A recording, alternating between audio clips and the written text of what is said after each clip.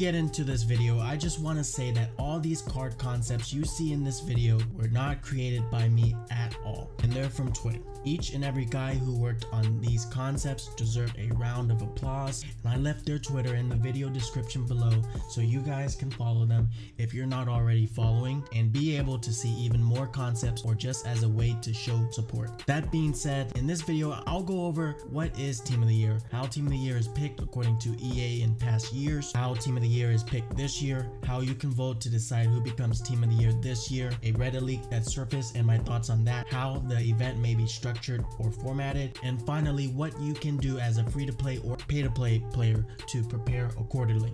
Let's kick off with the very basics. What is Team of the Year? Team of the Year is a team of players released on a yearly basis. Select players will be rewarded blue cards based on their real performance on the previous year, but Team of the Year is picked differently this year, and I'll get to that later in the video. Usually the Team of the Year is released in mid-January. Last year's Team of the Year kicked off around January 9th. Last year's Team of the Year consisted of players who played well during the calendar year, according to the International Federation of Professional Footballers, or FIF Pro. Don't confuse Team of the Year with Team of the Season, which has nothing to do with the calendar year, but related to players of each league who has played well during the season. How many players are selected for the Team of the Year? 11. The Team of the Year is made up of one goalkeeper, four defenders, three midfielders, and 3 4, where each category can contain a player in any position. How many nominees does the Team of the Year have? 55 how Team of the Year will be selected. This information comes from EA Sports website, which was included in EA's official FIFA Mobile tweet. And the screenshots you will see here are the nominees. It used to be where Team of the Year was based on FIFA Pro World 11, but this year they're doing something different. A lot of information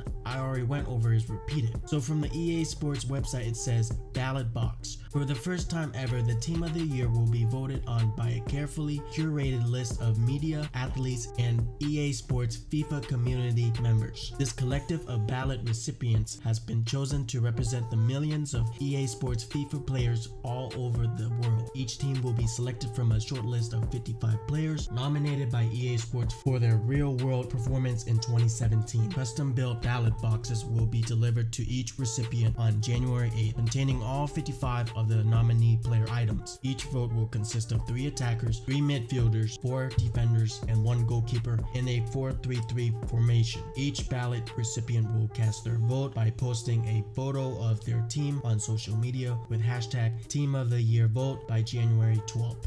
The ballot submitted by this group will account for 60 of the final vote. The remaining 40 of the votes will be cast by EA Sports. So remember that a lot of people vote not for who that deserves it, but who they want to see in FIFA, which reminds me of a program called Futties that releases after Team of the Year every year. If you do decide to vote, just Google Futhead Team of the Year vote or FUTWIZ Team of the Year vote or something similar to that and you'll be redirected to Futhead or FUTWIZ to cast your votes. I'll also leave a link in the description to these sites if you haven't already voted. I think they're throwing out these numbers as a facade to make it seem as though we have a say in things, but at the end of the day EA is pulling strings. Maybe they're just buying time. Either way, it's still nice of Futhead and FUTWIZ to give us the right of a vote for these players. And then the website says, the final Team of the Year will be announced starting on January 15th with the special Team of the Year player items available in packs for a limited time in FIFA 18 Ultimate Team and FIFA Mobile. Even though this year they're doing things a little bit differently,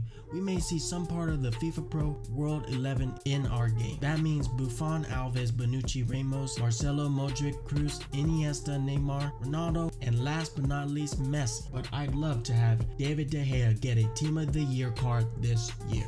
All this information is official from EA. Now here's the part of the video where I will talk about the Reddit leaks that has been surfacing around on the internet. This guy named Ray Day Football is a different guy from the guy named Jared who tends to leak on Reddit. And this time around, Ray Day Football was way earlier than predicted. And perhaps he did it as a way to get karma. And some people who data mine the game files as well called him out on Reddit. So in my opinion, most of it's just a fake leak. Writer himself is claiming it's true. I won't read this whole post and I would have included a link in the description below to the Reddit post, but it was taken down from all the downvotes and then reposted, so I don't know if the link is still there. Futbin, Futhead Mobile and developers confirm, according to their words, it was fake because not everything is 100% true or even 100% false. Some things hold even an ounce of truth to it somewhere in context. So this tweet by Futhead Mobile just contradicts themselves. They're saying it's 100% false and yet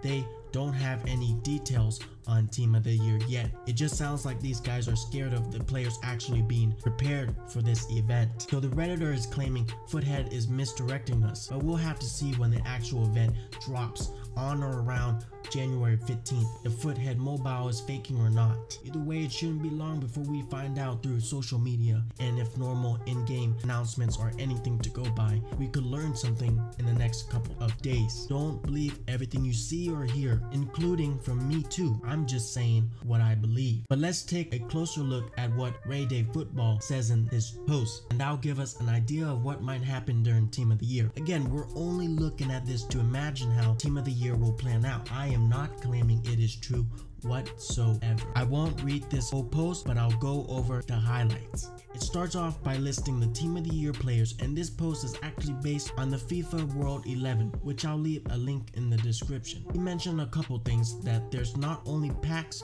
for each position like attacker, midfielder, but also notice how he says it's purchasable with either FIFA points or coins. During the freeze event and hourly bonus gift event, there was a double. This post also hints at that. There's Team of the Year items and packs as well. In this post, it references it as a Team of the Year point. Then it goes into saying that you need specific player nodes to complete nodes to get rewards, but 5 is outlandish and almost unrealistic considering if drop rates for these supposed tokens are even that good. It ends with team of the year including achievements, kits, and trophies, which doesn't seem impossible. Team of the year has to be something fresh, exciting, something that grabs our attention. Don't give us the same old bullshit, especially after the new domination player. They did okay with football freeze and LLR, but this time you need to step up your game big time EA big time. What I wouldn't want is for them to only release FIFA points packs for pay to play players. Hopefully there'll be different tiers of team of the year point packs offers. This Reddit post by a guy named Jirik, who I previously mentioned, has leaked some things in the past that actually came into fruition saying that there will be team of the year items. And then he goes to say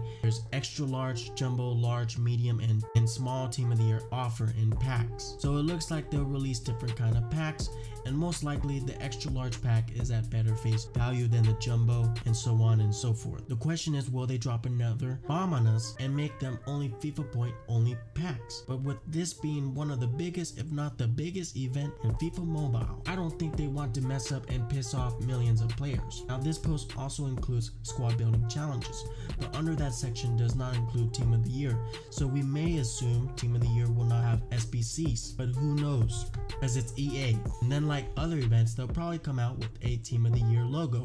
Let's say they do release coin packs during Team of the Year. That indicates that items that come off the market may be required for Team of the Year, or simply that Team of the Year may be tradable, but that's not confirmed at all. This picture that you're seeing is obviously fake, but it's just a visual to show what the Team of the Year pack might look like. If they're tradable and able to be packed through coins, there's your answer. Coins will be a must, and actually it's a bit fair. It'll allow pay to play to get cards quickly and free to play to earn them over time. The greatest good for the greatest amount of people. Common sense that EA lacks. Another question is how long will the event last? This is one of the biggest events in FIFA Mobile, so I don't think it'll be just a couple of days, a few weeks, or even months, but instead come and go like last season. What do you guys think? Leave a comment below, but I personally think it'll somewhat be like last season where Team of the Year packs get released and they return multiple times throughout the season, including the events if there is any. This Team of the Year release will obviously include both console and mobile. But when we see news on Twitter or, or, other websites, they don't mention events because it's geared at consoles. But we might have grindable events like we did during New Year's, Freeze event, even LLR. On Twitter, EA teased us with this picture of Team of the Year players. And this picture comes from the official account. So this is the card art for the Team of the Year players that we can expect. And typical EA messed up with Nainggolan, but they fixed it later. And even though they look like they're only at Elite, Tom said they probably won't start as Elite and more likely as master and above. As far as the players themselves, there may be a possibility that EA might bring out Team of the Year's specific skill boost like they did with the freeze players and domination, maximize money for one of the most anticipated events of the year. What this will enable them to do is release high rated players but not make them overpowered right away due to lower boost. Obviously everyone has been preparing knowing that Team of the Year is in January and some of us have been preparing way before that. Either way, saving coins won't hurt you. EA wants to catch us unprepared, so they threw events at us to sink coins and FIFA points and then make us spend even more during Team of the Year when it's out. Cunning EA decided to release that 4 million coin icon pack, which drop rates probably were higher, mostly for Petit and Deco. 1000 FIFA points for each new domination player that just got released and that pay to play weekend league to name a few. Whether you're free to play or pay to play, more stamina you have, the better, just in case they decide to drop grindable events along with packs. Don't let your daily ads go to waste and not watch them. Max out your stamina from ads if you haven't done so already and stack up on as much stamina as you can. You'll want to have as much as possible before Team of the Year comes out if they do decide to release events. You can get upwards of 100 stamina a day or 20 ads and that's not including if you have two unique devices like having an Android or iOS device which will give you 200 stamina in total, theoretically. To make the most out of this time of year, you're going to open packs, whether FIFA points or if coin packs release. If you're going to open them, open them as soon as possible as you don't want to be undercut too early in the event if they do decide to make Team of the Year tradable. As thousands of gamers open pack, the market will see prices fall on an immense scale. Will there be a market crash? A crash may be putting it strongly, but there will probably be a lot of fluctuation. Some gamers may sell some of their best players to fund pack openings, but EA probably won't let us pack them so easily. So don't go too crazy on pack openings if you're planning on upgrading your team overall in the future, since that will require FIFA points points and coins too. How much would they cost if I bought Team of the Year cards are expensive. We all probably know that considering last season because everybody wants them so just don't be surprised if they cost more than 5 million or even in the tens of millions price range. It's not clear how EA will approach this event or will decide to make it free to play friendly. Let's just hope for the best but expect the worst because I know EA will somehow involve some kind of cash grab during these types of events. Will there be any role for free to play players in Team of the Year or or will Team of the Year be for pay to play like last season? That answer is ultimately up for EA to decide whether they want this to be the best event so far in FIFA Mobile or be a complete crapshoot. They need to keep in mind all kinds of players in this game, not just pay to play. If you enjoyed this video or it helped you in any way, please leave a like and shout out to SamarthFX for creating this video's awesome thumbnail. Dude, you're one of the best. Thank you so much. Shout out to all the guys from Twitter who let me use their art for this video and I probably missed some points with Team of the Year. Leave it in the comments below and I'll respond as fast as possible. Have a nice day guys and thank you to all of my viewers who made it this far in this video or even clicked on the video and I'll catch you in the next one.